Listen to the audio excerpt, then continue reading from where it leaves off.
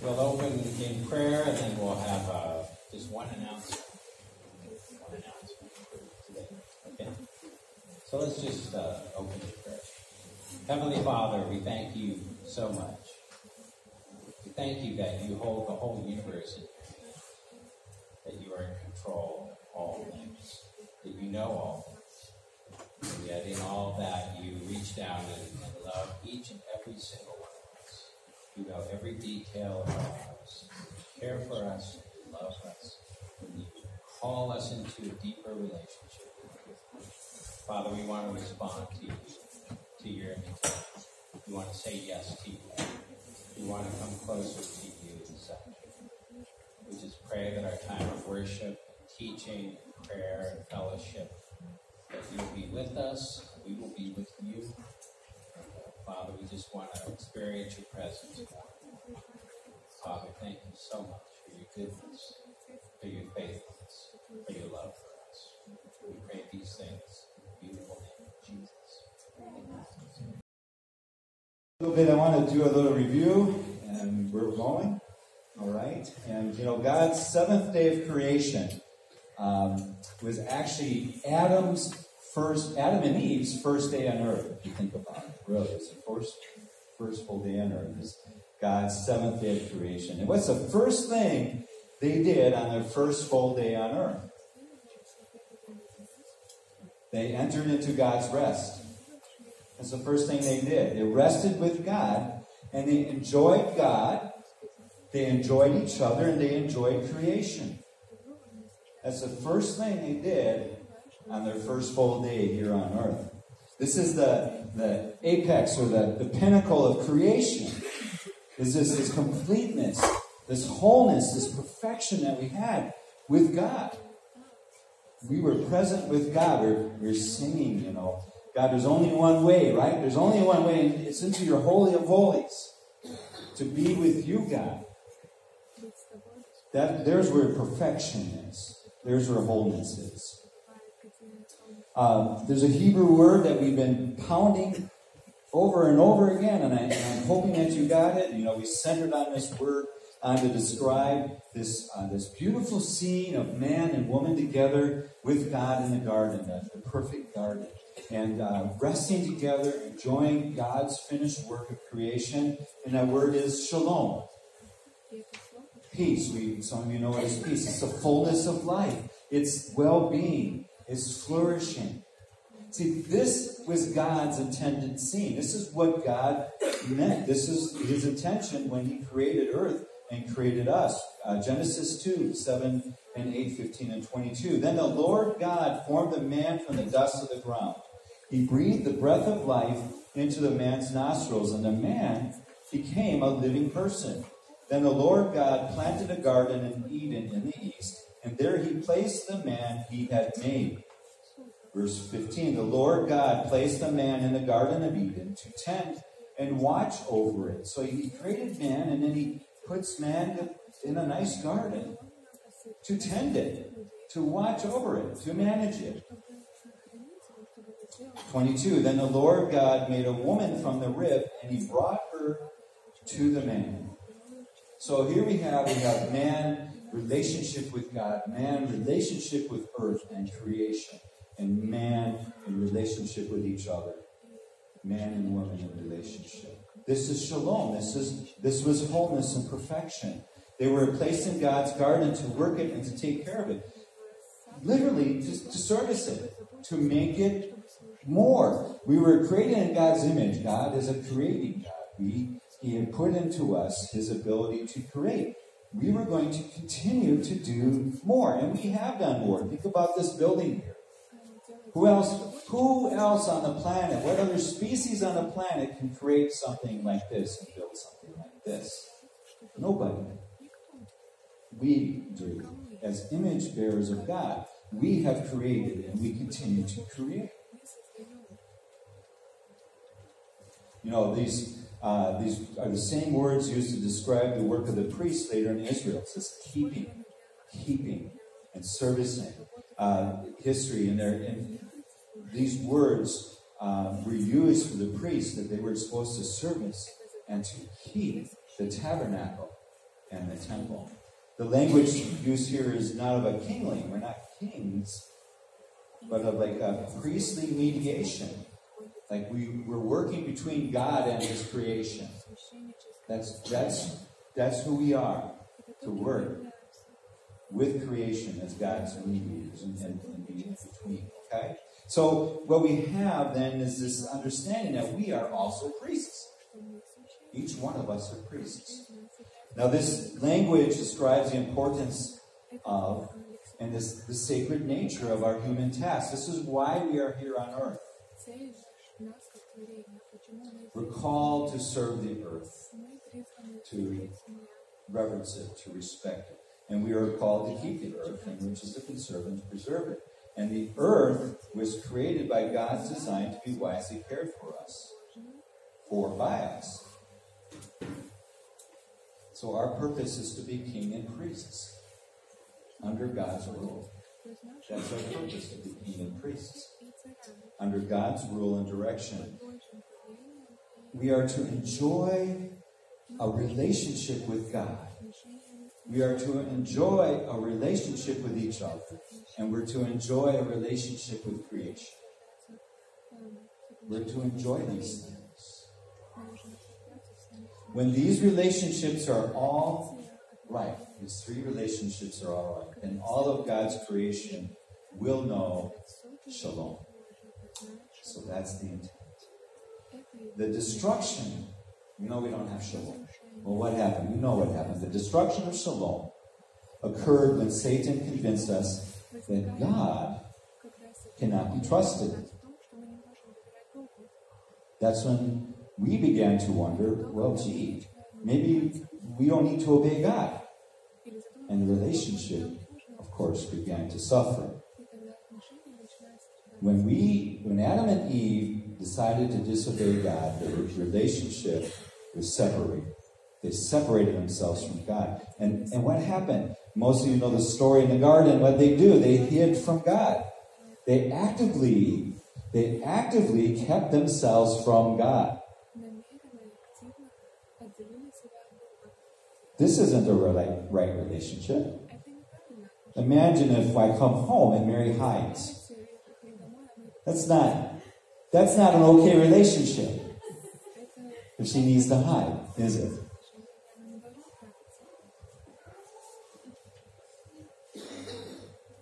Evil wants us to remain separated from God. That's what Satan wants to do. That's what the enemy wants us to do. He wants us to remain separated from God, and he'll find a way. He'll find a way for us to remain that way.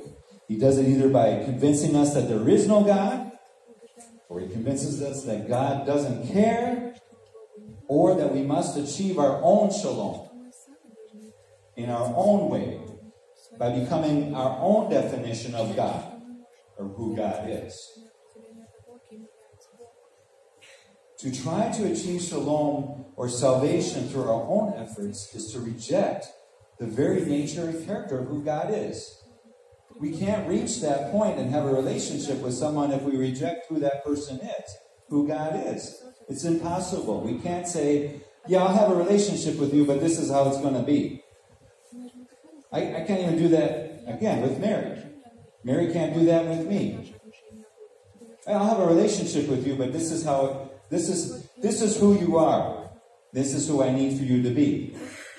It doesn't work that way. Because why? Because God in his infinite wisdom knows what works best for us. He defines, not us. We don't define, he defines. He just wants us to be close to Him.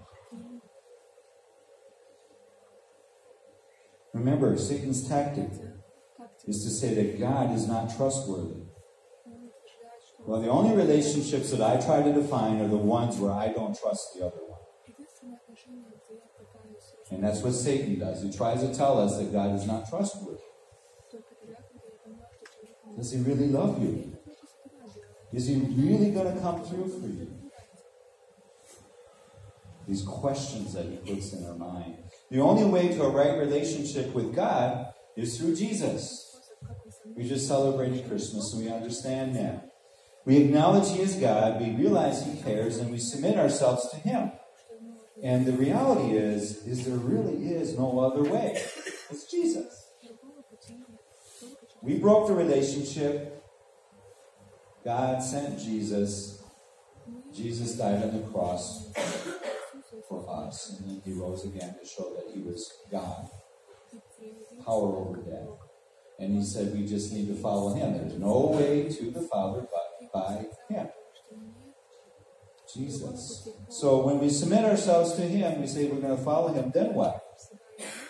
Well, Paul says in Romans, he says, you know, we are to be transformed by the renewing of our, of our minds. But how does this happen? How does renewing of our minds happen? It's a question I, I considered, and I, I, then I considered water. I thought of water, and you know, you cannot change water by telling it to change. You know, there's nothing you can do with water, and you know, water can't change in and of itself. You just can't. It won't happen. The only way it changes is by putting it near something. Steam comes by putting water near heat. Ice comes from putting water in extreme cold.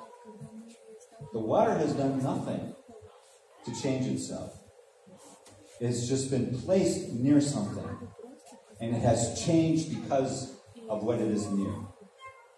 Where water has put itself, or where we have put the water, and, it, and transformed itself. We are transformed by being near God. Shalom comes by being near God. We become near God. There is no physical garden by which we can we can go to be by God's presence, right? I mean, Adam and Eve, they, they disobeyed out of the garden. So, where do we go to be near God? How do we get near God to experience shalom?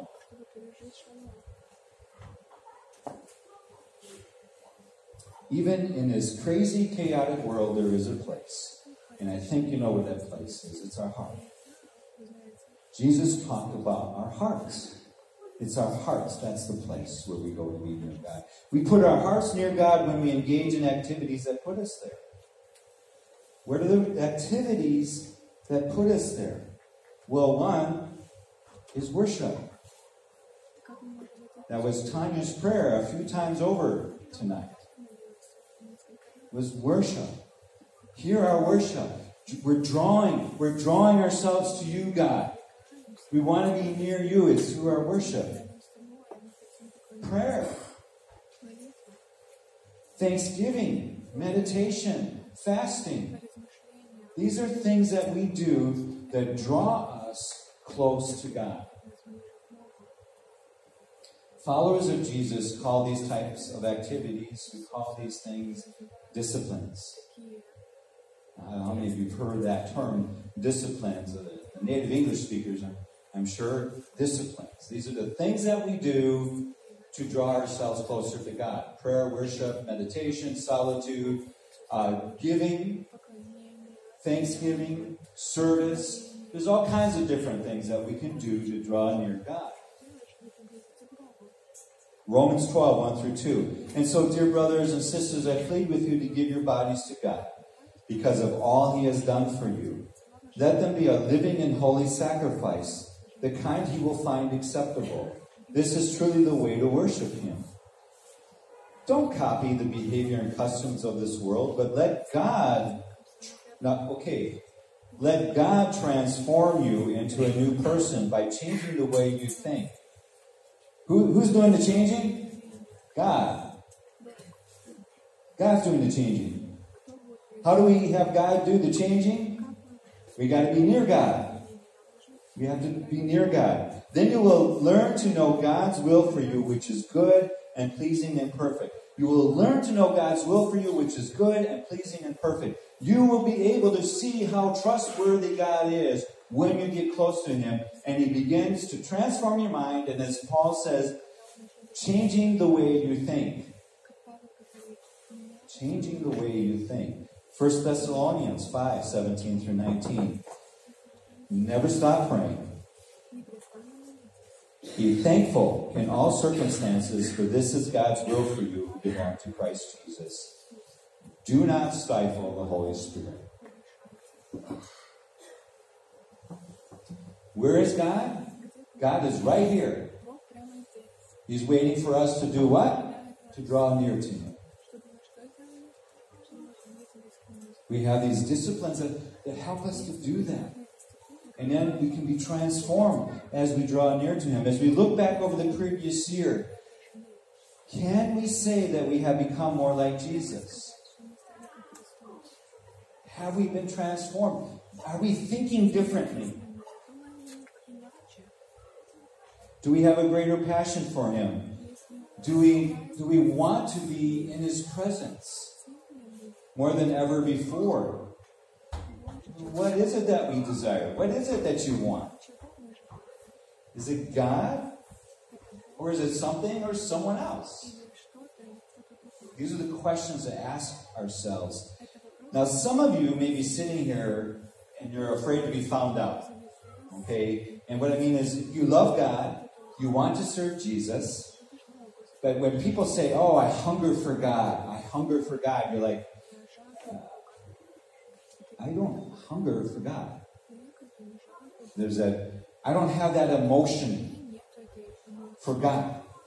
What's, what's the matter with me? What's the matter with me that I don't, when so many, there are people that they talk about these lovely languages that, oh, they hunger for God. What about me? What's going on? I think that this message, in a lot of ways, is for you. Disciplines help us to develop a hunger for God. Okay? They're, they're called disciplines for a reason because you have to choose to do them. All right? Uh, they're not called the awesomes or the, you know, I know what, what, other word would we use to make it, oh, we love to do that, you know. They're called the disciplines. And there's a reason they call them disciplines because there's something that we have to choose to do to engage God. Now, I don't hunger for God. I'll tell you what, nearly 10 years ago, I was confronted by doctors about my weight, my obesity. And, and I had to give up sugar. I knew I had to give up sugar. As some of you can imagine, it was a difficult process. How many people are sugar people? Anybody here is sugar people? Yeah, all right. How many are salt people? Yeah, you're either a salt person or sugar person. I don't really. Or both, huh? Oh man, you got it really tough. All right, I'll be praying especially for you. Um, it's a difficult process. I crave sugar. I, I bragged about, you know, eating a French soap pie. I could eat the whole thing in one sitting and wash it down with a Coke. All right? All right? Yeah, Don's with me. Don's with me. Nothing wrong with that, okay? You know, eat a whole box of Hostess, right? You eat five of the six packages, and then the six packages there, I can't really eat it, but it's such a waste to throw it away, so I'll eat it. That's a problem. That's a problem. I craved sugar. It was going to kill me. It's going to kill me. I had to decide to leave sugar and eat healthier. Now, it wasn't like I sat down one day and said, I'm going to get healthier and I'm done with sugar. It was a daily decision, often hourly, and many times minute by minute. And I don't know how many can identify with me where you're sitting down, you're doing something, and you automatically, without thinking, you start heading to wherever the candy is. Anybody? And you're halfway across the room going, What am I doing? I'm doing what I always done, and I'm doing what I, I crave. It's the easy thing to do. After a few months, I noticed something though. I noticed that my palate, you know, what tastes good to me, it's called the palate, changed. I hungered for healthier food. Sugar was not satisfying. In fact, I would eat something sweet when that's a little too sweet for me. I never thought I'd ever say that. It was too sweet. It was sufficient for the occasional treat. But here's the thing about discipline. Obviously, you can see it's easy to slide back into these habits. And I allowed that to occur. But the hunger can change. I changed my own hunger for healthier food once I decided on a minute by minute basis. So I don't know how many, three months, and you think how many minutes are in three months? I mean, that seems like that's how much decisions I had to make around staying away from sugar. But it was a discipline. And it changed my hunger. Discipline helps change what we hunger for. It does not happen overnight. It becomes easier, but as my sugar habit illustrates, we have to remain active in our discipline to keep our hunger focused. I let it slide. Oh, I have a second piece of cake. I'll have a Coke. Okay? John Piper writes this desire for other things, that's the enemy. And the only weapon that will triumph is a deeper hunger for God.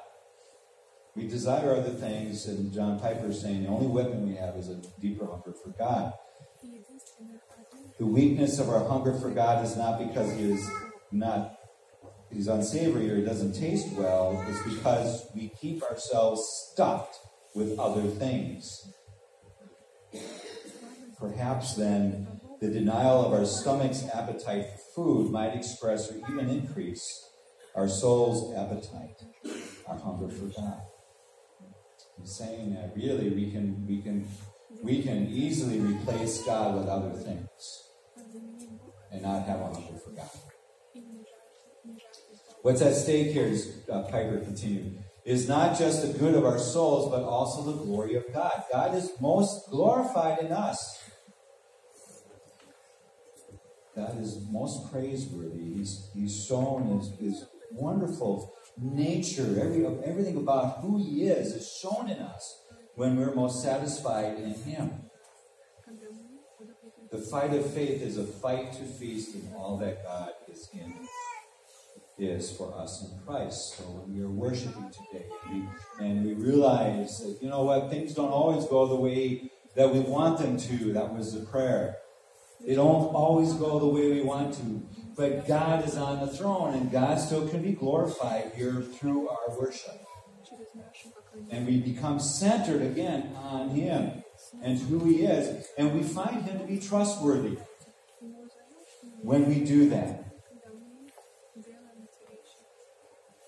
Well, we hunger for most, we worship. Paul Philippians 3 8. I have suffered the loss of all things and count them as rubbish in order that I may gain Christ. This is the path we will try to follow. Everything becomes secondary. In order to eat healthier, I actually had to give up something. It wasn't just a, I need to eat healthier. There was a discipline involved in choosing not to eat sugar. Oops. Yes and choosing not to eat sugar. I developed a different hunger then. Some of you might have read like uh, a celebration of discipline. There's others that would talk about different types of disciplines, the disciplines of the denials and the active disciplines, okay, and things of that nature.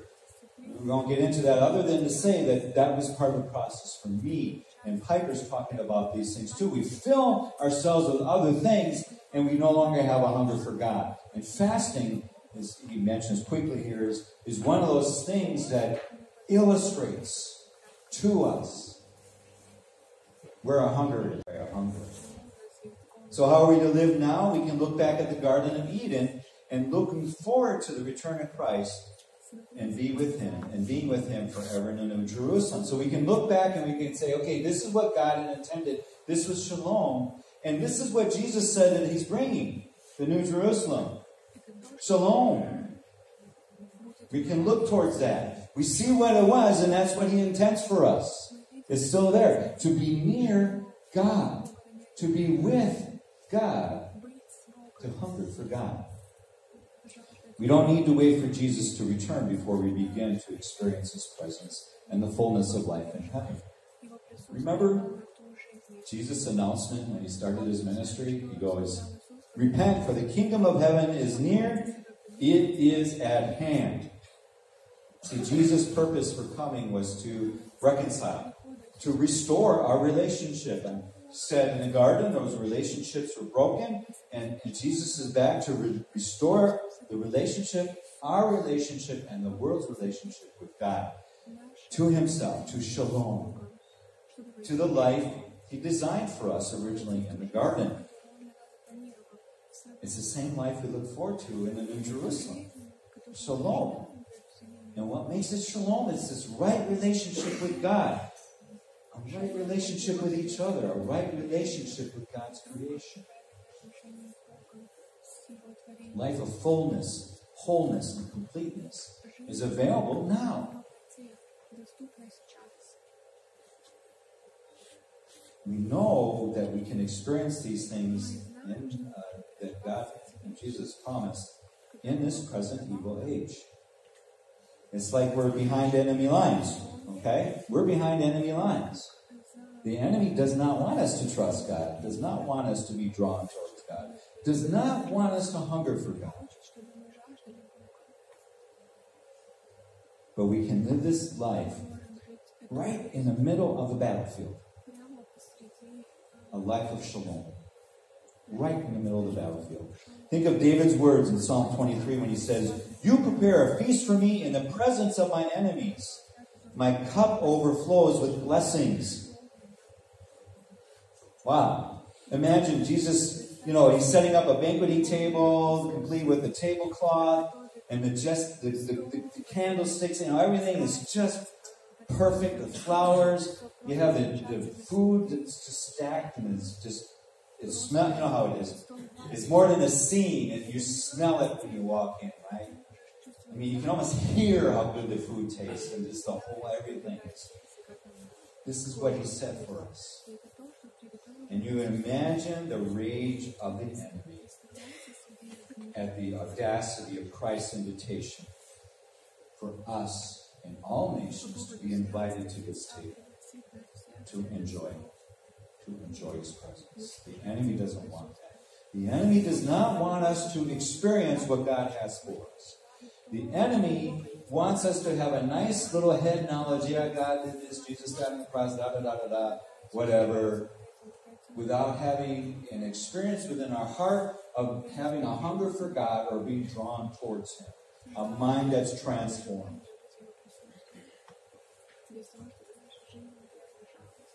But that's God wants that for us. He, uh, I understand the abundance of the table represents the fullness of the presence of God Himself. He is who we feast on. He is the bread of life, the new wine. He is the one we long for. Look for. It's all about Him. Ephesians 2 6 through 10. For he raised us up from the dead along with Christ and seated us with him in the heavenly realms because we are united with Christ Jesus. So God can point us to us in all future ages as examples of the incredible wealth of his grace and kindness towards us, as shown in all he has done for us who are united with Christ Jesus. Paul is talking in the present tense so that all can see. God saved you by His grace when you believed. You can't take credit for this, it is a gift from God. Salvation is not a reward for the good things we have done, and this is important. Disciplines are not salvation, right? That's something different. It's something completely different. God has done the work for us, and now we can sit at His table. But to keep us at the table, to enjoy the table, we engage in disciplines. For we are God's masterpiece. He has created us anew in Christ Jesus.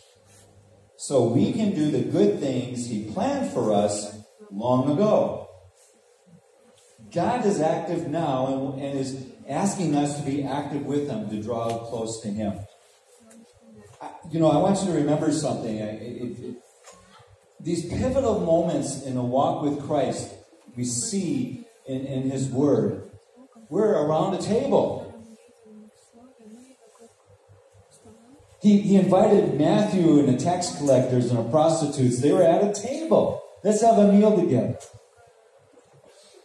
The Pharisees, you know, they had a they, had a meal together. Then the last we call it the Last Supper. We we we we we observe it once a month, communion, and it's around the table. It's, it's the relationships. What is the most painful part of not being in whatever country you're from during holiday seasons? It's not, oh, but it'd be nice to have the turkey. I understand that. And my mom's red cabbage, for anyone that understands what that is, and the cranberry jello or whatever. But what I miss is the relationships, the table, being together and the fullness, the perfection that's there when you're in right relationship with those around the table with you. And God, that's a metaphor for who God is. He invites us to be at the table. He uses the parable, the wedding feast, and says, Imagine the, the, the king's going out and he say, come, Everyone come, come join me for the big wedding feast, and nobody comes. The A-listers don't come. So he sends out again. Because he, he wants people to enjoy his presence, to enjoy him. And so he invites, and others do come. Take advantage of the disciplines because they work in two ways. They help us to enter more fully into the fullness of God's presence, to enjoy Him. And secondly, they help us to bring our fleshly life under control and to break habits and sins that are hindering us from drawing closer to God. Prayer, worship, thanksgiving, these are for our benefit. God designed us, and He had these things in mind and the Bible talks about these things. They're for our benefit. We, when we draw closer to Him, we hunger for Him. When we engage in these disciplines, so oh prayer, oh yeah, I gotta, I gotta do that. Oh man, oh, oh. Tell you what, if you're not in the habit of doing that, the first month is going to be really hard. It's going to be really hard. But then what happens? You begin to look forward to it. Not every day. And every day there's going to be a little voice saying, no, you don't really need to do it today. But it draws you close to God and you you hunger for Him. You hunger for Him. In uh, January, we have a number of things happening in January that I want you to be aware of.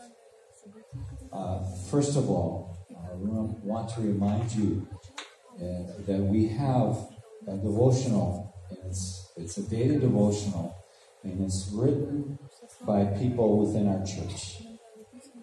And it's a, I love every one of them. I've read every one of them twice, and I'm, I'm just encouraged by each one. And because each one is a different perspective of a walk with God. And so we have a bunch of them in the back. Grab one if you use paper copies. Otherwise, you'll be you uh, can get one emailed to you every day, just that day, every day. All right. And if you are getting one emailed every day and you don't want to, just unsubscribe. Okay. But uh, we'll be uh, using our mailing list to do that. But uh, you know, a lot of people, many people, if not most people, prefer a paper copy. So please do that. The other other thing to be aware of is that we're going to do and ask you to involve yourself in a in a uh, ICF, a church-wide fast. Okay. Uh, Paul next week, Paul said we'll talk more in detail about fasting, what fasting is, the purpose of fasting, things of that nature. Okay? But we want you to be aware now. Uh, we will start the uh, 21 day fast for all the church uh, January 10th through the 31st. So Uh, just be aware of that. It's a couple weeks from now. But on the back sheet, on the back table, we have a sheet. It's called Slowing Down to Fast. The ICF 21 Day Fast, January 10th through 31. You see a piece of paper there. Uh, I printed about 30 copies of these, front and back. And, and what they do is they just talk about um, the elements of fasting. And so, why fasting? The, um, and what helps to, to achieve a successful fast? I can use that word, successful. Um, and then on the back, you'll see some biblical examples of fasting, uh, what makes a biblical fast. And then finally, um, there's some practical uh, preparation. So if you've never done a fast before, actually, we, we gave you uh, two good links. Uh, I, I, believe everyone should be on the internet by now. So uh, uh, there's some good links there that talk about fasting, and I would encourage you to read through this. It's a very it's a very good document about fasting to educate yourself, even before next Sunday comes. And then finally, uh, during the time of our fasting on Saturday evenings, we will be having a worship and prayer night. So, and they will happen here.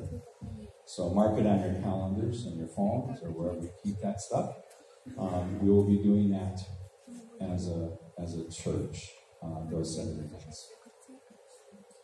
Yeah, yeah.